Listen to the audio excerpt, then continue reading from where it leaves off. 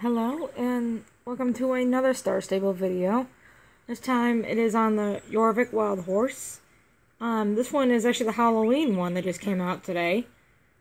Um, which is also Galloper Thompson's horse, but right now it looks like a normal one, but like any Jorvik Wild Horse, um, if you move away from civilization, it will change its appearance. Which this one obviously is going to look like a hell horse. Which I kind of like about that since it's Halloween. There we go. Yeah. That's something perfect, I think, for holidays like this, for Halloween. Now, this I really like, honestly, because I didn't really care for a lot of the other characters. A lot of the other colors for both the big and small Jorvik Wild horses, but this looks absolutely amazing, especially for Halloween. Um, so, let me show you the gaits, of course. The walk, nice and collected.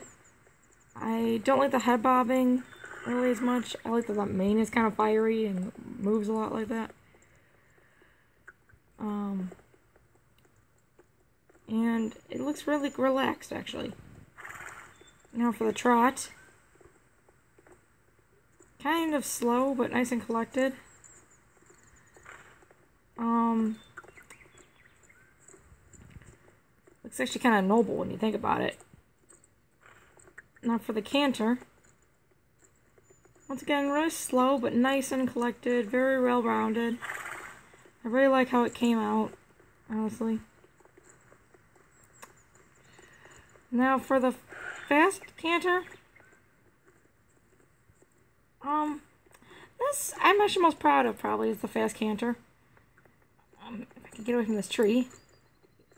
Um, yeah, I think it came out really well to me. Did. And yeah, nice and rounded, very collected. I like seeing that on, a, on any horse, fantasy or real. Um, now for the fast gallop. Okay. That, to me, is very powerful to look at, honestly, and it looks absolutely amazing. It's very strong. It's very noble, actually, to me.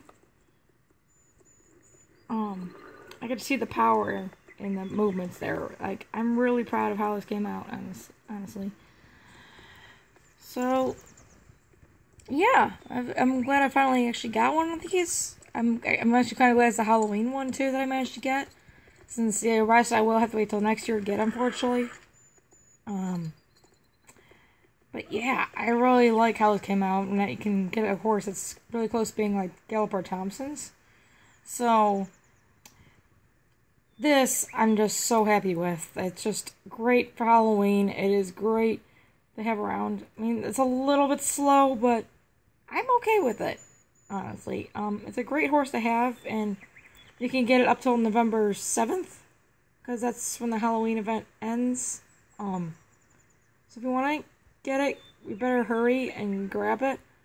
Um, but if you don't like it, it's okay. I mean, there's next year too when the rest of the colors come back out. And this one to me is my, definitely my favorite though. So enjoy the Jorvik Wild Horse and happy riding.